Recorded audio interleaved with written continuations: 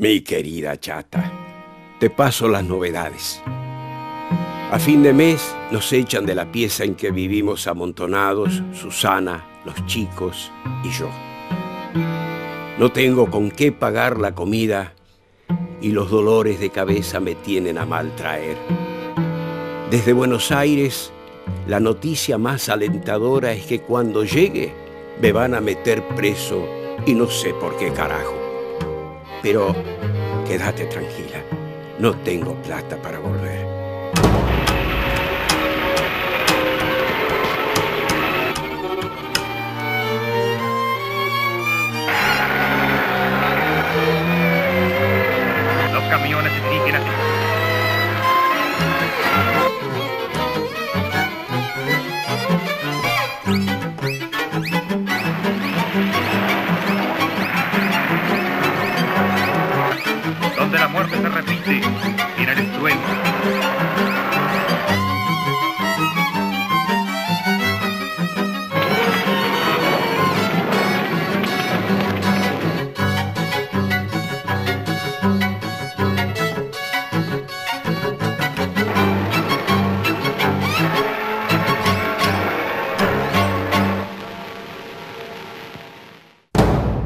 La salud pública, eh, eh, eh, sobre todo en el interior del país, estaba totalmente desprotegida.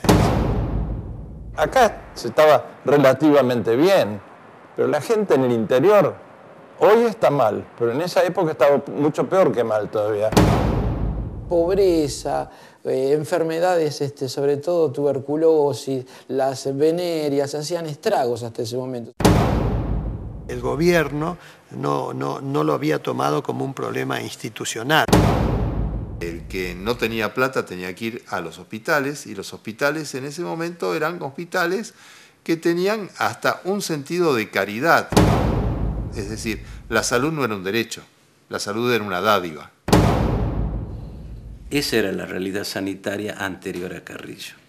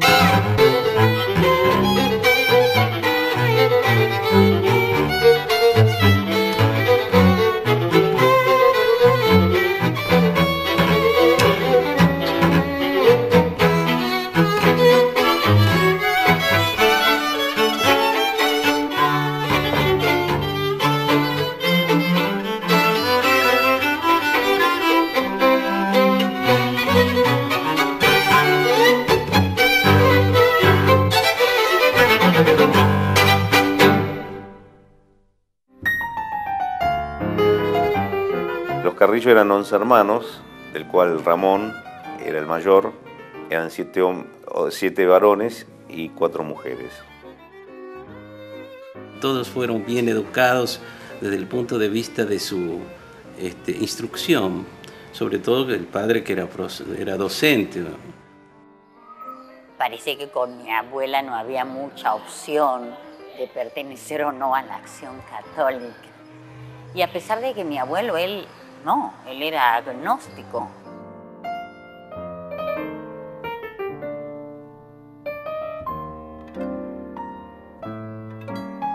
De manera que este, la herencia política podía haber venido del padre, pero la herencia cristiana y humanística, fundamentalmente, era su madre. Hoy no existe un solo aspecto de la salud que no se encuentre influenciado por la mala organización del trabajo. Y es por eso que la tarea de los higienistas no rendirá su fruto hasta que no tengamos leyes obreras. Porque el enfermo es un ser humano, no un caso clínico, ni una curiosidad científica, ni un problema exclusivamente médico.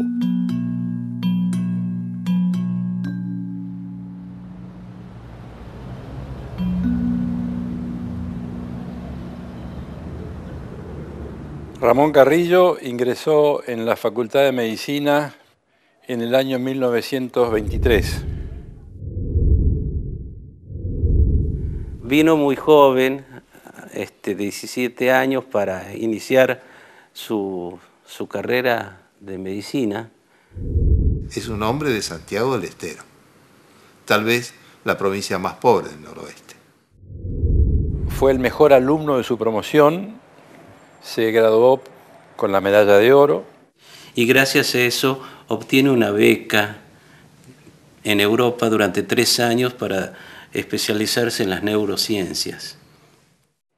Viaja a tres centros europeos muy notables. El primero fue Ámsterdam. Pasó después a Berlín y finalmente en París. Trajo certificaciones de todos esos hospitales donde había trabajado que ameritaban su capacidad de trabajo, su dedicación y su talento.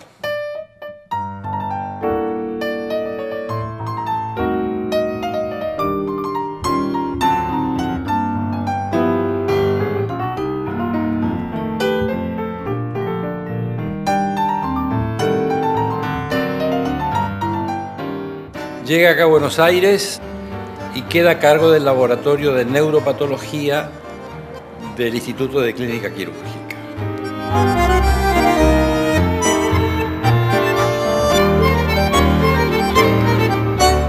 Y el negro Carrillo tenía muchas amistades, entre ellos gente que había este, militado en Forja. Forja era una organización de intelectuales, literatos fundamentalmente, que habían nacido en el año 35 y que eran muchachos de orientación irigoyenista. Carrillo, como médico del pueblo, siente desde su más temprana infancia, su juventud y toda su carrera un sentimiento popular muy acentrado. Este aspecto popular, esta cercanía a los más necesitados, pero además este profundo amor por la Argentina y la convicción de que la Argentina en ese momento era una Argentina colonial es lo que lo lleva a Carrillo a acercarse a estos jóvenes que planteaban consignas como somos una Argentina colonial, queremos ser una Argentina libre, patria, pan y poder al pueblo.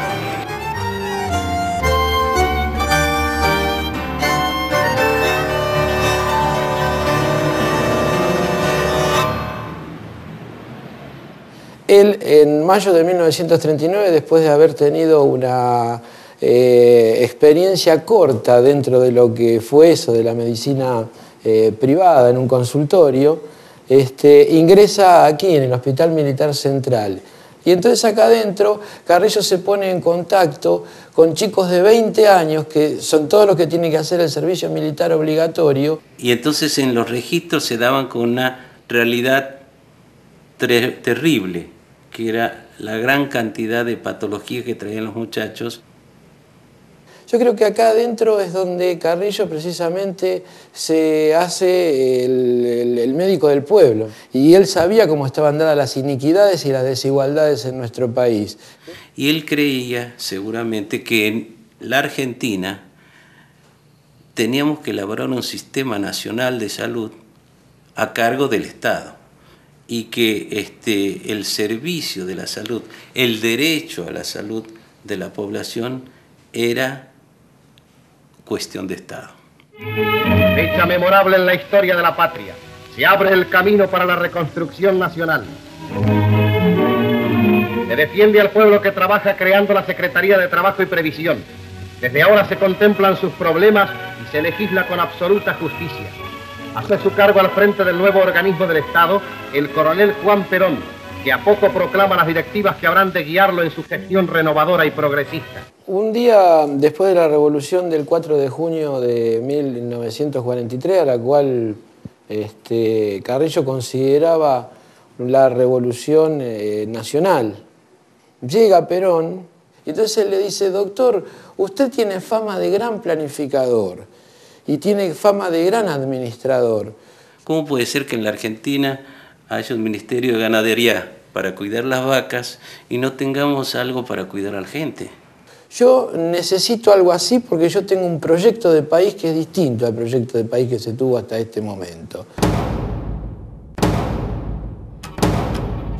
Y entonces es en el momento en que se sabe que algo va a ocurrir porque ya la oligarquía que estaba atrás de la Unión Democrática y atrás de la figura del embajador de los Estados Unidos que se había puesto a patrocinarla él mismo, que era Braden. Y ahí es donde se pone eh, el, el complot en marcha. Y en ese complot seguramente que figura Carrillo. Carrillo es el que prepara la habitación para que Perón esté en el Hospital Militar Central y es tanta la confianza que tiene Perón en Carrillo que deposita en sus manos dos cartas. Una es para el coronel Velázquez y la otra es la verdadera carta para Vita, ¿no? La que le había dado antes, digamos, para que sea publicada para consumo público. Lo que pasó con la carta, sabemos que la entregó, pero qué resultado tuvo, suponemos que es el 17 de octubre.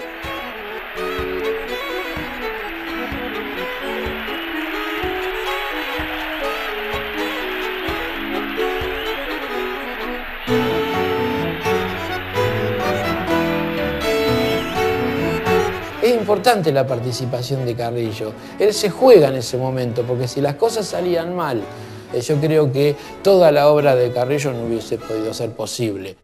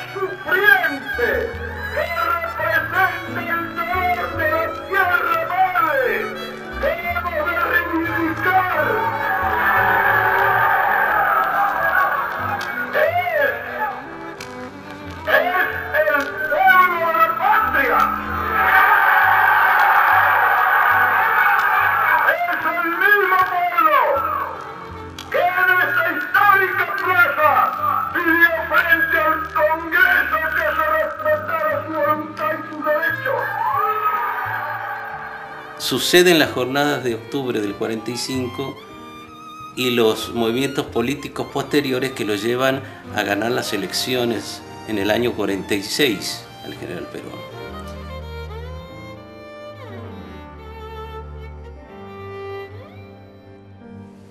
En esta simbiosis histórica entre el político que gana la presidencia y el científico que elabora una teoría sanitaria, es que se produce seguramente ese plan analítico de salud que según dicen constaba de 4.000 fojas y que Carrillo pone a disposición del presidente y le dice, este es el futuro Ministerio de Salud de la Nación.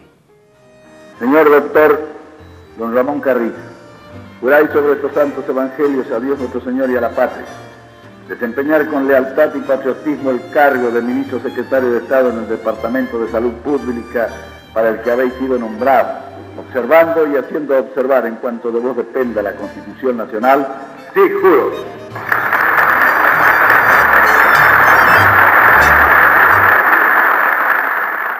Carrillo entendió primero que nadie los determinantes sociales de las enfermedades, que la cuestión no era solo biológica, sino que había cuestiones sociales, que tenían que ver dónde vivía, qué agua tomaba, qué relaciones sociales tenía, qué tipo de trabajo tenía, qué inserción, qué orgullo, qué orgullo de estar en la Argentina eh, y transformar la Argentina. Y eso son cosas muy importantes para, para el mejor estado de salud. Y también entendió que la salud no era la consecuencia de eso, sino que la salud era también la causa del desarrollo de un país. Es necesario que comprendamos todos, no solo los médicos, que la nación no reside exclusivamente en nuestros campos, ni en los depósitos bancarios o las industrias pujantes, ni en tantas otras cosas materiales de las que estamos tan orgullosos. Aceptaría que la nación está en gran parte en nuestra historia, en nuestra geografía, en nuestras tradiciones pero ni siquiera podríamos hacerla residir en las ciudades, por bellas que fueran, porque todo nace y termina en una sola cosa, el hombre.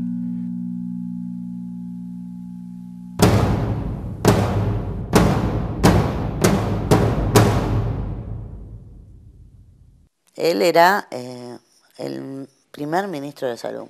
Eh, Crea la medicina sanitaria y se divide la salud pública en antes y después de Carrillo.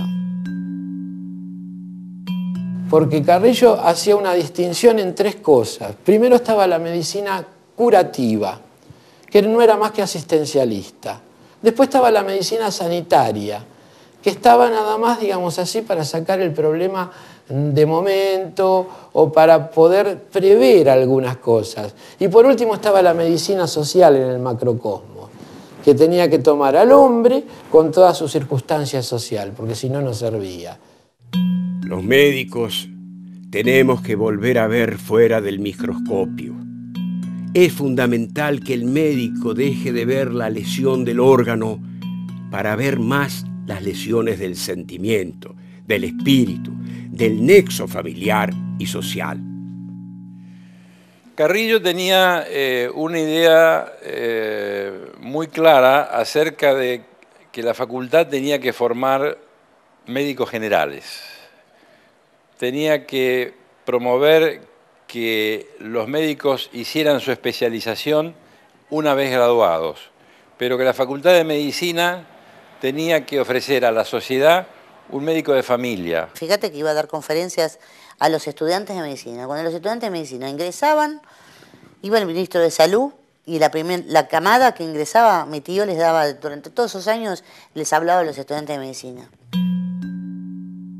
Siento decirle que aquello a lo que ustedes aspiran con este ingreso a la universidad es ni más ni menos que ingresar a la barbarie cuando se reciban de médicos, solo sabrán cómo se diagnostica una enfermedad, pero habrán perdido la noción del mundo y también la noción del hombre.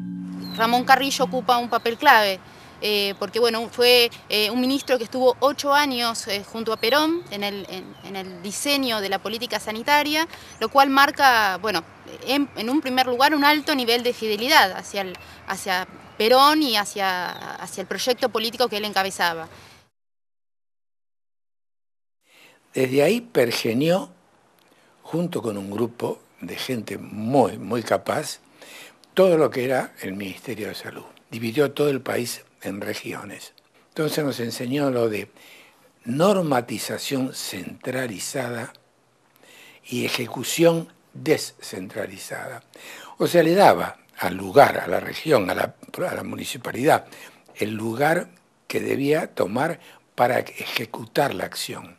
Eh, gran parte de estas ideas están plasmadas en los tres tomos, que son el Plan Analítico de Salud Pública, eh, que bueno, dio a luz en 1947, eh, hace una larga cantidad de, instancias de intervención en donde la Secretaría de Salud Pública se ponía como agente interventor de esas cuestiones.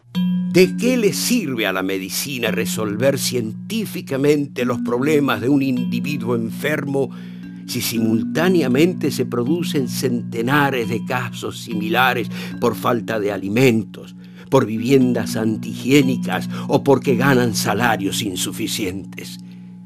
¿De qué nos sirve que se acumulen riquezas en los bancos, en pocas manos, si los niños de los pueblos del interior del país andan desnudos y tienen que soportar índices enormes de mortalidad infantil, del 300 por mil, como ocurre en algunas mal llamadas provincias pobres, que yo llamaría más bien provincias olvidadas.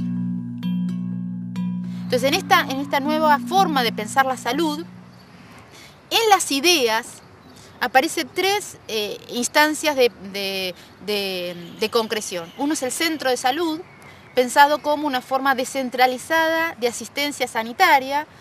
Otra instancia son los centros sanitarios y por último la ciudad hospital. Una de las cosas más interesantes que en este sistema centralizado hace Ramón Carrillo y que nunca más volvió a existir es la Dirección General de Arquitectura Hospitalaria. De ahí se diseñan, junto con el libro que hizo don Ramón Carrillo, sobre la organización del hospital. Teniendo en cuenta todos esos consejos, se, se diseña un nuevo concepto de hacer hospitales. En teoría del hospital, él, por ejemplo, eh, habla del hospital de 30 camas. Pequeño hospital. Pero hay que dejar un gran terreno alrededor del hospital, decía él. Porque si la población crece, si la demanda del hospital es más grande, hacemos en espejo otras 30 camas más, para no tener que después construir hospitales hacia arriba, que son eléctrico dependientes, porque si no anda la electricidad no hay luz, no hay ascensores, no hay nada. Eh, todo eso él lo, tenía perfectamente claro, ¿no? Como tenía muy claro el epígrafe que tiene en el eh, libro Teoría del Hospital, que es una frase de Perón, que dice así, un hospital mal construido siempre será un hospital mal administrado.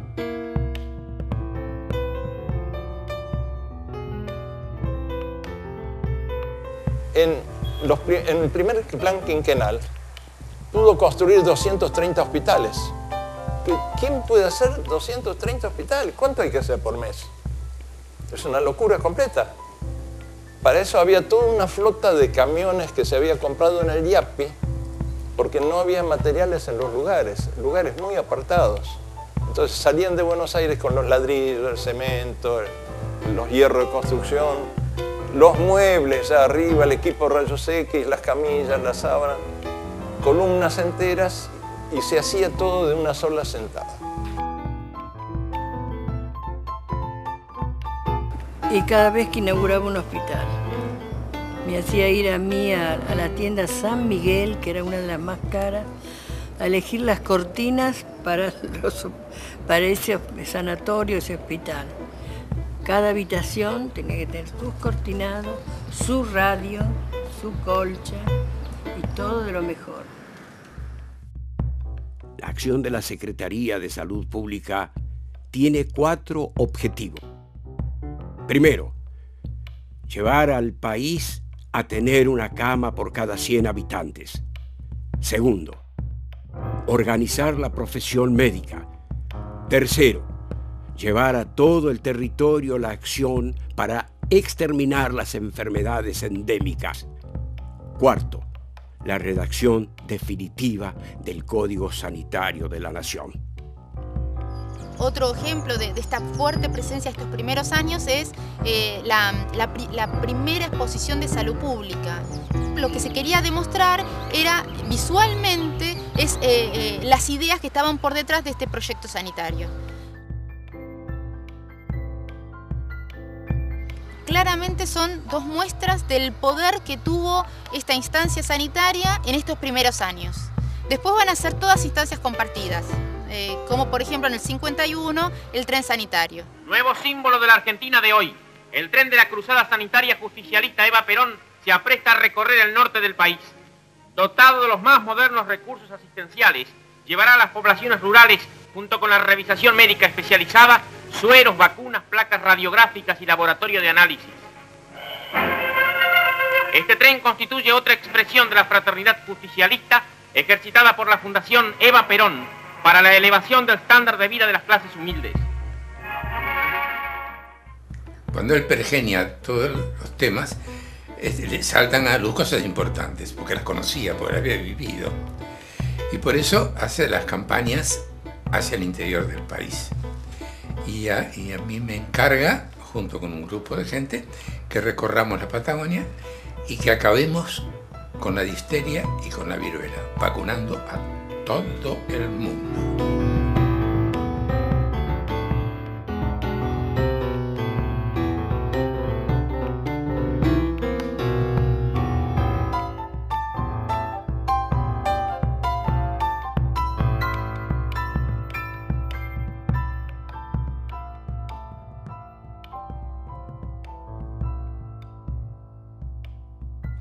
La que tuvo también un impacto importante a nivel simbólico es la peste bubónica del 46. A fin de año se produce un brote de peste bubónica en la zona de Palermo. fue una prueba política muy importante que tuvo que eh, sortear Carrillo a los pocos meses de, eh, asumir y eh, la, estrategia que adoptó fue una fuerte presencia física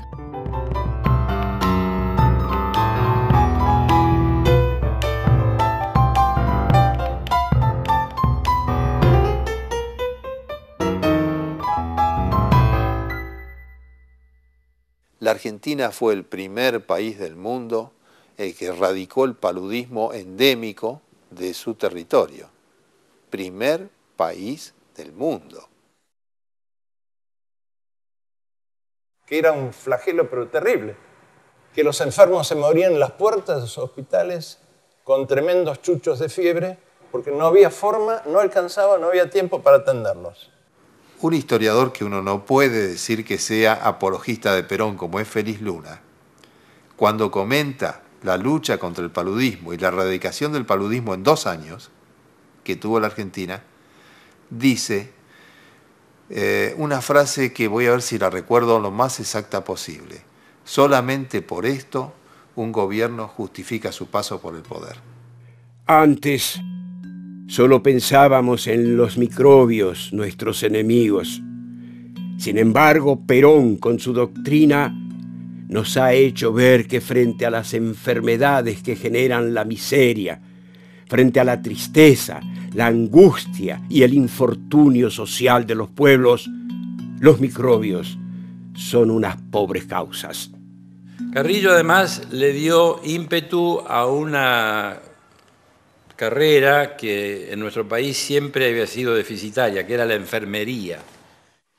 Yo tuve el honor de haber ingresado en el año 49, cuando recién se inauguró la escuela de enfermeras, gracias a Evita y gracias a ella haber vivido de una profesión digna, porque en esa época no estaba bien vista la enfermería, pero eh, gracias a ella nos dignificó.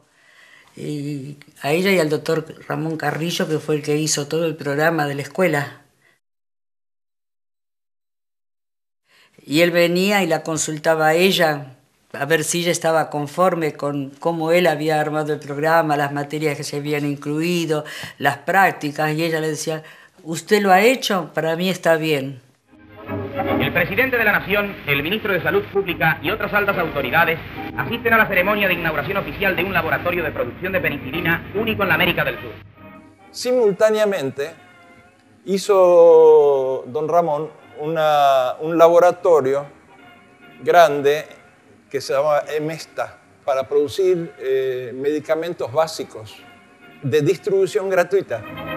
El ministro Carrillo y el presidente Perón se refieren a la trascendente significación de la lograda iniciativa que honra a la patria americana y a la humanidad. Lo que sucede es que eh, vender medicamentos a un precio eh, barato anula el negocio de no pocas empresas. Y si yo pongo un hospital, la clínica de al lado, muy contenta no se va a poner. La verdad, está bien, la clínica va a seguir siendo para los ricos, el hospital es para los pobres. Pero, bueno, si eh, empezamos así, quién sabe dónde terminamos, decíamos. ¿Quién iba, ¿Había alguien dispuesto a darle gratis las cosas a la gente? Evita quería así. Evita quería que los remedios fueran gratis. ¿Quién iba a fabricar remedios gratis? Si no Emesta. Lo mismo que los sueros antiofídicos, las vacunas, eran gratis. Ahí no se pagaba ninguna vacuna nunca. Tanto así que, bueno, el desarrollo, del, por ejemplo, del Instituto Malbrán, eh, que llegó a ser eh, un centro no solamente de